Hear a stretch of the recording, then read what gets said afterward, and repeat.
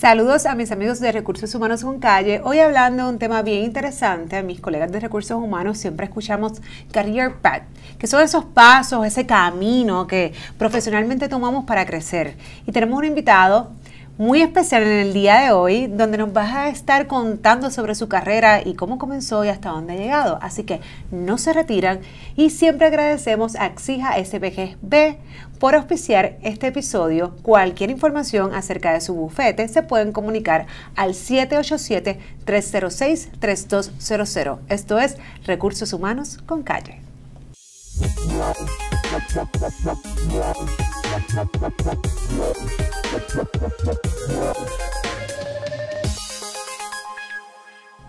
Trabajar trabajamos todos, pero ¿cómo sobresalir? ¿Qué hacer para llegar a cada día brillar más y crecer profesionalmente? Y como dicen por ahí, hacer carrera. Hoy tenemos un invitado muy especial que todos conocemos en Puerto Rico, que todos queremos mucho y que es un gran ejemplo de esto. Y aquí tenemos a Normando Valentín. Normando, gracias. Buenas noches. Gracias, gracias. Gracias por estar con nosotros. Me asusté de momento. ¿De verdad? ¿Por sí, qué? cuando dijiste a una persona que todos ustedes conocen y que todos ustedes quieren mucho, y dije, ándale, se equivocó de invitado. no, pues eres tú. Era, era Ah, para ti esta bienvenida, esta introducción. Pero depende a quién le preguntes. Ah, a los bueno. políticos tal vez te van a decir, no, yo no lo quiero tanto. Pero, Pero te conocen. Pero me conocen, eso es cierto, eso es cierto. Nada, Pues mira. Normando, te, te agradezco que, hayas dicho que sí para, para esta entrevista y es que nosotros en el plano laboral ¿no? y en recursos humanos eh, siempre estamos tratando de, de desarrollar el talento, de que pues no, no nos quedemos porque la idea es que no nos quedemos donde comenzamos y, y yo sé que tú tienes una trayectoria eh, en Puerto Rico y yo dije, pues, ¿quién mejor que invitar a, a Normando? Porque es una trayectoria que no solamente, a veces hablar de mí, pues solamente lo sé yo o las personas muy cercanas, pero hablar de Normando, pues todo el mundo te ha visto y ha visto tu crecimiento. Así que cuéntame un poco, ¿dónde tú empezaste? ¿Cuándo empezaste? ¿Y dónde estás hoy día? Wow, pues yo, si fuéramos al génesis de todo este asunto, te puedo contar que eso fue para el 1984 y por accidente. Cosa que podemos hablar de la edad porque tú cumpliste los otros días Oh. y eso lo supo todo el mundo, así que yo no estoy diciendo nada. Mi vida es un libro abierto, yo acabo de cumplir 50 años. Eh, tanto Ricky Martin, Chayanne, J. Lo y este servidor nos vemos muy bien para la edad. Yo lo sé, lo reconozco. Ustedes allá también están comentando lo mismo. Este, pero a los 14 años en aquel entonces, Wow. y fue por accidente. Eh, mi hermano participaba en un equipo de pequeñas ligas y entonces eh, se acostumbraba, y yo creo que se acostumbra aún, en mi pueblo de Utuado, transmitir los juegos eh, a nivel local para obtener fondos para la actividad final y la entrega de trofeos. Para ese partido, las personas profesionales que narraban los juegos, pues ese día no pudieron. Uno estaba enfermo, otro estaba en San Juan, otro tenía compromiso y no aparecía nadie. Y ya estaba contratada la estación. Mi papá era el presidente de la junta de directores y estaban discutiendo ese día eh, esta problemática y yo, ni corto ni perezoso, le digo a mi papá, yo me atrevo. Y papi me miró así, pero ¿de qué tú estás hablando, muchachito tú atrevido? Este, y el dirigente del equipo dice, bueno, no perdemos nada, nosotros compramos la transmisión, ponemos a quien nos dé la gana. Y así lo hice. Se transmitió el juego, cometí y dije mil barbaridades. Este, obviamente un muchacho que todavía no tenía el dominio pleno del idioma. Pero agraciadamente una de las personas de esos narradores estaba escuchando el juego y se personó a mi casa. O sea que de la primera vez que tuviste esta oportunidad, alguien te identificó, alguien dijo, espérate, que este muchacho a mí me gusta. Abril del 84. Wow. Y fue a mi casa y me dijo, te estaba escuchando, si quieres aprender, vente conmigo. Y así yo comencé con los juegos de pelota y poquito a poco después empecé haciendo turnos como DJ en la emisora de Utuado. Y hasta que decidí entonces, cuando llegó mi momento de partir a la universidad, esto es lo que yo quiero hacer. Y ahí empezó todo. O sea que de los 14 años. Pero para que tú veas qué importante es, aquí tengo que dar crédito a recursos humanos, que tenemos este ojo clínico que decimos, esta persona, este talento, lo podemos desarrollar. Cuando yo empecé a trabajar para que la emisora me pudiera pagar, mi papá tuvo que firmar, porque yo era Era menor, de edad, tú sabes. Así que eh, sí, y, y se lo agradezco a él, Toñito de Jesús Cubano, que todavía vive, eh, pues porque fue la primera persona. Y entonces cuando llegas a la universidad, Normando, ¿cuál es tu, cuál es tu, tu ruta? Pues yo empecé eh, en Arecibo primero, en la Universidad de Arecibo, en aquel entonces se llamaba Colegio Universitario Tecnológico de Arecibo, CUTA. Éramos hijos de CUTA. Y entonces me involucré también en la vida estudiantil. Eh, presidí la asociación ACTRA, que se llamaba Asociación Estudiantil de Comunicación Teleradial. Eh, y poquito a poco, a instancias, hicimos un, programa de radio en Radio Única en Arecibo para hablar del programa de comunicaciones de, la Universidad de Arecibo. Simultáneamente, los fines de semana mantenía un turnito que ya me, habían dado en la emisora de Utuado. Luego paso a la Universidad de Puerto Rico, acá en Río Piedra, en la Yupi. También me involucré en la vida estudiantil, fui parte del Consejo General de Estudiantes como delegado, fui representante de, la, ante la facultad, fui senador académico y presidente del Consejo de Estudiantes de COPO. Eh, para ese tiempo hacía cápsulas eh, deportivas en lo que es la X100. Wow. Y entonces, pues allí también, y me mantenía los fines de semana viajando para, para Utuado. Para hacer también en WPR mi turno como, como DJ. Hasta que gracias al programa de que insertan a los estudiantes para hacer práctica, pues empecé a trabajar en lo que es la gran cadena QS, donde había un pequeño espacio de noticias. Con la buena suerte de que allí estaba Felipe Gómez Martínez. A Felipe lo contratan en lo que era el canal 11 para aquel entonces. ¿Y a quién le dieron la plaza de Felipe? A ti. A Nico Fernández, a este que está aquí. Al hijo de Cuta, Jerezano. A, a Jerezano, Gallito. Este, y así empecé entonces en, la, en las noticias. Al poco tiempo hubo una serie de empresarios que eran de Noti1 que compraron lo que era el 630 en la cadena, la gran cadena de noticias y lo convirtieron en la super cadena de noticias en mayo del 92. Ahí hice redacción, fui a la calle, fui jefe de redacción, fui subdirector de noticias y cuando se jubila el veterano Machi Medina, a los 27 años soy director de noticias de una estación de radio y, fue un reto, ¿no? Porque entonces tenía que estar pendiente a la programación más supervisar personal. Claro, y supervisar personal, que, que, es la parte, es la parte a veces complicada, porque nosotros sabemos hacer lo que sabemos. Eh, ahora, hacer que los otros hagan lo que tienen que hacer, pues eso puede ser un poquito más, y entonces es un reto porque tú eres jefe, eres director de noticias, pero a la misma vez eres psicólogo, eres consejero financiero, tienes que atender mil problemas, que si los nenes se enfermaron, que si tengo esta situación con Asume, que si... Entonces digo, espérate, yo no vine aquí para esto. Bienvenido a mi mundo. Así que fue una etapa interesante. Hasta que vendieron la estación en el año 2000 y ahí pasé, me quedé sin trabajo, porque como yo era el director de noticias, todo el mundo se acomodó y yo y yo dije, ¿eh, a rayo, ¿qué yo voy a hacer? Empecé a trabajar en un banco, en un programa que se llamaba Universia, y era el director de contenido, que era un portal dirigido a universidades. Con la buena suerte de que Noti1 se roba a Carmen Jovet de WKQ, no se lo consultaron a Rubén Sánchez, que era el director de noticias de Noti1, Rubén se enoja habla con Huberto Viaggi. Ah, diablo, estoy con los, con los chismes de. ¿Qué he mencionado nombre Es parte de la trayectoria. Y eh, Rubén se va para WKQ, que, que, todavía permanece. Entonces, en ese momento, pues no había nadie que hiciera el show de la mañana y me llamaron. Y en el 2001, a los pocos meses de. Yo estuve como tres meses en el banco nada más. Paso a Noti1 a hacer el, el morning show. Y después hice el escándalo del día. Allí estuve hasta el 2003 empecé a trabajar en Guapa Televisión los fines de semana y hubo un pequeño diferendo porque pues la gente, el gerencial de aquel entonces no quería que estuviera en los dos sitios. Y yo le digo, tú no me pagas exclusividad. Eh, si yo quiero trabajar los fines de semana, eh, asunto mío. si no interfiere con tu trabajo. Pero no, no lo entendí así, pues me votaron, señores. Yo he pasado por ese trauma, fui votado. Normalmente Valentín ha pasado por un despido ¿Qué podríamos decir? ¿Justificado? No, no, eso era totalmente injustificado, pero bueno, me fui, yo no formo revolución, ¿verdad? Me voy en paz. Eh, al poco tiempo me llama Luis Penche, empiezo a trabajar en Radio Isla 1320 y Quique Cruz me da un full time en noticias. Al poco tiempo, pues, formé, hicieron una prueba y me nombraron ancla para hacer Noticentro 4 a las 4 con Laisa Torre y Débora Martorell y simultáneamente trabajaba en Radio Isla. Al poco tiempo, unos años después, paso de Radio Isla WKQ. Allí estuve haciendo 20 cosas, siempre manteniendo mi, lo que hago siempre en, en Noticentro.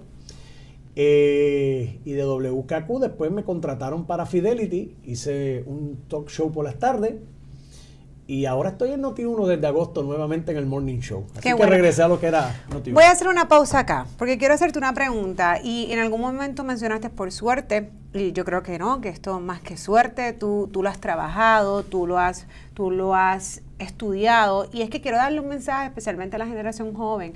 Hemos escuchado incluso grandes empresarios eh, en los Estados Unidos que pues ya no buscan título, que es más importante el conocimiento que no necesariamente que venga de lo académico. Sin embargo, ¿qué diría Armando Valentín para, por ejemplo, esta, esta generación donde tú sí estudiaste, fuiste a la universidad, te preparaste y es parte de lo que yo me imagino que cuando te identifican, obviamente incluso en tu caso, tu talento eh, el poder ser un spokesperson tiene mucho que ver y hay ciertas habilidades innatas, ¿no?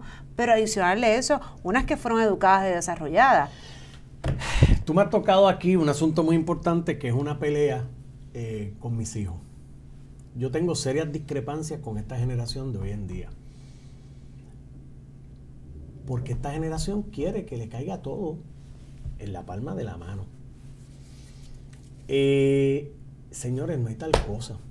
Uno tiene que prepararse, uno tiene que estudiar. Yo hice mi carrera universitaria, vamos. Porque me involucraba en, la vida estudiantil, no fui lo disciplinado que debía haber sido. Y no hay ni summa ni magna cum laude. Yo me gradué como iba porque pues en, en ocasiones yo estaba hasta las 2 de la mañana preparando ponencias o haciendo protestas estudiantiles para poder cumplir. Pero yo tengo una serie de discrepancias porque la generación de ahora quiere estudiar, si posible, de lunes a jueves, eh, si posible salir de la universidad lo antes posible, no, no cultivan la vida estudiantil, eh, quieren después tener los mejores turnos de 9 de la mañana a 6 de la tarde y ganarse mucho dinero. Y ser gerente. Porque no quieren pasar por el proceso. Es como que yo me gradué y ¿dónde está la posición de manager acá? Y no tal cosa. O sea, yo he hecho de todo desde abajo. He trabajado sábado y domingo, he roto noche, madrugué. Eh, me han votado, me contrataron. O sea, yo he pasado por todas las etapas profesionales para poder llegar hasta aquí. Y no hay camino fácil. E, eso te pregunta, eh, te iba a preguntar, Armando. Eh, a veces esperamos que porque ya hago un buen trabajo, pues me reconozcan y, venga ese ascenso o esa promoción de parte del patrono, ¿no? Pero la realidad es que nosotros como individuos tenemos que hacer ciertos esfuerzos y sacrificios y, de ahí nos vamos moviendo. Y por lo que me has dicho, y me hice la pausa en Guapa, y en Guapa has crecido, y yo sé que ahora estás en otro lugar también, digo, dentro de Guapa, ¿no?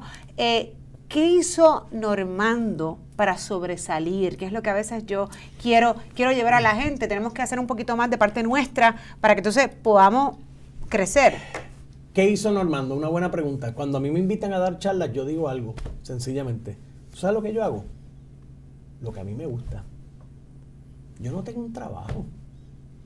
Yo tengo una profesión que me permite divertirme en lo que hago. Eh, una profesión que me gusta, que no me pesa ni romper la noche, ni levantarme temprano, ni trabajar de 6 de la mañana hasta las 6 de la tarde como lo hago. Y yo creo que esa es la clave. Y muchas personas, y lo que yo les recomiendo, cuando usted vaya a estudiar, no importa lo que vaya a estudiar, pero que sea lo que a usted le guste, que usted le ame. Porque va a tener entonces algo que le va a satisfacer. Si usted estudia algo por hacer dinero pero que no le gusta, usted va a tener toda la vida un trabajo, porque le va a dar trabajo levantarse para ir a trabajar. Y esa es la clave. Y si tú estás en algo que te gusta, a ti no te pesaba. Tú lo vas a hacer bien y si lo vas a hacer bien, vas a ser bueno. Y si eres bueno y lo haces bien, vas a sobresalir. Y si eres bueno, lo haces bien y sobresales, vas a ser recompensado. Si te entiendo, Normando, a ti no te pesa ir a radio, ir a televisión, escribir columnas, eh, hacer a veces cosas que están fuera de tu scope of work, ¿no? Porque pues dices, esto a mí me gusta y yo voy a entrar en esto, porque es tu trabajo y no te pesa, pero del mismo modo te hace brillar y te hace diferente cuando te comparan a lo mejor con otra persona que hace lo mismo que tú. Y esto te ha permitido crecer.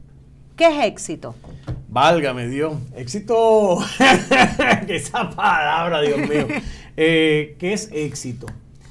Muchas personas miden el éxito por lo que tienen. Ah, Normando tiene esto, tiene aquello y demás. No, yo creo que éxito es el tú poder salir a la calle y que la gente te reconozca y que te diga, te aprecio, gracias por lo que haces. Hey, siga así, que es importante para Puerto Rico. Eso para mí es tener éxito. No es ni que el cheque venga grande, ni que puedo tener cosas materiales y demás. Y yo solamente aspiro que el día que me vaya a ir, eh, yo espero que sea bastante tarde. Me gusta Kurt Douglas, la edad que él trascendió es perfecta para yo trascender que la gente simplemente digan, ¿sabes qué? Normando fue bla, bla, bla, bla, bla, bla, bla, bla, bla, bla, bla, pero fue un buen ser humano. Y esa es mi única aspiración. Y ahora que estás ahora que estás en otra posición, cuéntame ahora, ya me hice la pausa, sígueme, llegaste allá a las 4 y luego cambiaste a la mañana, luego ahora a la tarde. Cuéntame qué ha pasado ahí también. Yo extraño mucho la mañana porque la mañana era eh, un encuentro de amigos que se juntaban para pasar la cool. Y durante 11 años y 5 meses yo me estuve levantando a las 3 y 20 de la madrugada para llegar a Noticentro al amanecer. Y lo extraño mucho. Ahora es otra jornada donde me, exigen que Normando tiene que ser un poquito más serio, presentable en sociedad, ¿verdad? Eh, pero también una responsabilidad porque es la edición estelar donde el noticiario eh, pone en perspectiva todas las noticias que están surgiendo en un momento dado, en el momento del día. Así que es una edición bien importante. Y ahora pues tengo la oportunidad de compartir con una persona que es maravillosa, es encantadora y es hermosa por fuera y por dentro, pero es una profesional íntegra, cabal y somos de Utuado.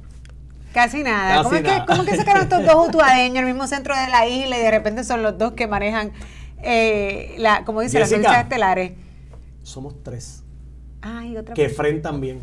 Que Fren Ay, que Fren, que también lo conozco, pues mira para Pura casualidad, ¿no? Así que yo creo que, que es retante, es un reto, ¿no? Eh, y eso pues le da sabor a la vida, ¿no? Muchas veces hay que moverse, eh, salir del comfort zone, así que eh, estoy disfrutando esta etapa, aunque extraño muchísimo Noticentro al Amanecer. ¿Qué te hace diferente? ¿Por qué Normando? ¿Por qué entre tanta gente y posiblemente de más cerca y del área metro. ¿Tú sabes qué? ¿Por qué Normando? porque yo pienso modestamente que soy yo. Y si tú y yo estamos aquí hablando, soy yo. Y si me encuentras por la noche en un sitio eh, con una cervecita o algo, soy yo. Este, pues muchas veces hay, personas que es como un personaje, lo que usted ve en cámara, eh, entonces súper cool, se presentan y después en la calle no, son parados y qué sé yo. Yo creo que hay que mantener el don de gente, ser genuino, ser transparente. Eh, yo creo que, esa es la diferencia, ¿no? Ese, sería parte de tu, de tu secreto, que no es un secreto, que es simplemente ser tú, ser genuino.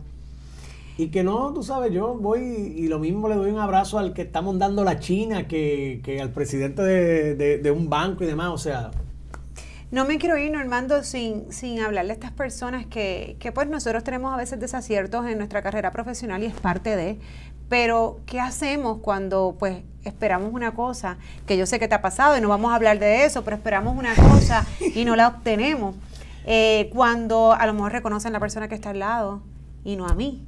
Entonces esa oportunidad nunca va a llegar. cuando yo voy a crecer? Tú has llegado y tú has llegado a posicionarte donde las colegas tuyos quisieran estar. O sea, ¿qué, qué, le podrías decir a esas personas? Yo... esta, mujer me está haciendo reflexionar hoy. Yo he pasado, y tú dices, Normando una persona de éxito, pero también yo he tenido mi, mi fracaso. Eh, he enfrentado despido. Eh, he aspirado a unas posiciones y yo entendía, y, y, quizá esto lo puedo hablar porque es algo que salió públicamente, ¿no? Cuando se dio lo de Guillermo José Torres, eh, yo decía, pues, soy yo. Y uno, eh, por, lo que, pero también yo me di cuenta que era un momento dado que era como un capricho, ¿no? Eh, y las cosas llegan cuando tienen que llegar.